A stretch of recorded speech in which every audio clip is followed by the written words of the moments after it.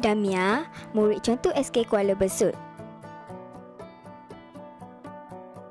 Kesusahan bukanlah penghalang baginya untuk berjaya. Mangkuk tingkat Damia sangatlah unik. Ibunya selalu membekalkan makanan yang berkhasiat untuknya ke sekolah. Segala perilaku Damia menjadi ikutan teman-teman sekelasnya. Mangkuk tingkat Damia telah menarik minat rakannya untuk membawa bekal ke sekolah. Wah Damia, awak bawa bekal. Awak bawa bekal apa hari ni? Hari ni saya bawa sandwich je. Wow, sedapnya. Mak selalu masak eh? Ya, mak saya selalu masak. Untungnya awak. Kalau macam tu saya teringin lah nak bawa bekal. Jom kelas ni, ambil lah. Wow, nak juga, nak juga. Lah, ambil lah. Esok saya pun nak bawa bekal. Boleh jimat wang. Hmm, betul tu. Dia pun ianya berkasihan. Mama, Mama, boleh tak Mama masak untuk Ida? Bolehlah, Mama. Bolehlah, Mama. Mak masak apa? Masak gula daging je. Bolehlah, Alah, Mama. beli kat kantin je lah. Ambil duit lah, Mama bagi duit. Ida tak nak. Mama, boleh tak Mama masak bekal untuk kakak? Masa mana pagi tu? Eh, tak sempat lah Mama. Sibuk lah. Eh, jom. Eh, kenapa ni?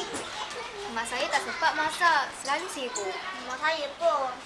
Sebenarnya, membawa bekal ini bukanlah satu beban yang berat. Sebotol air dan beberapa keping roti yang bersalat jam sudah cukup untuk kita membawa bekal ke sekolah. Hmm, mudahnya. Terima kasih, Damia, atas nasihat kamu.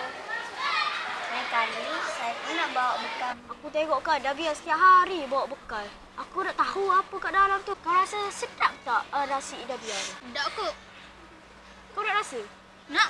Aku pun nak juga. Okay, jom kita pergi curi nasi dah biar. Jom, jom, jom.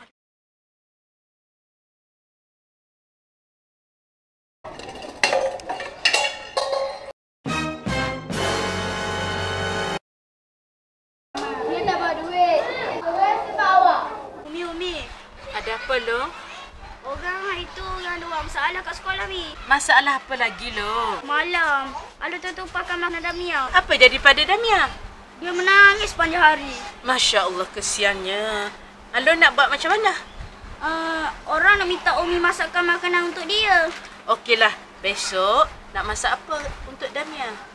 Masak nasi lauk daging je lah. Lauk daging. Okey, Umi akan masak lauk daging. Satu untuk Alun bawa dan satu bagi dekat Damian. Lepas ni, Umi nak Alun janji pada Umi, Alun kena berakhlak yang baik. Boleh tak? Boleh. Ha, uh, adik pun sama. Adik kena bagus kat sekolah ya. Boleh ya?